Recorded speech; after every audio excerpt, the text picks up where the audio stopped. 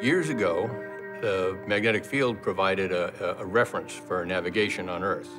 So for four or 500 years, whenever ships crossed the ocean, they carried compasses so they could find their way when, when you can't see stars or, or landmass. Uh, a magnetometer is like a fancy compass. It measures both the, the direction and the magnitude of the magnetic field. So in this case, we fly a magnetic sensor at the very outer extremity of the spacecraft. We're on what's called a magnetometer boom, which is about 12 feet in length. It's about twice as long as I am tall.